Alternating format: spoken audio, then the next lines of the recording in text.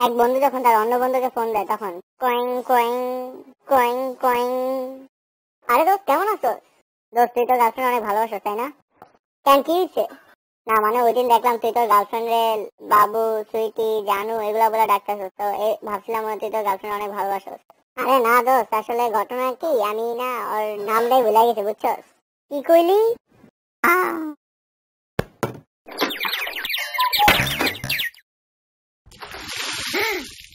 আরেকটা কথা তো বলতে ভুলে গেছি। বাংলার যোগাযোগ লাইক কমেন্ট আর সাবস্ক্রাইব না করেন, তাহলে কিন্তু পুট কইরা দিমু, আমি পুট কইরা দিমু। পুট কইরা দিমু, আমি পুট কইরা দিমু।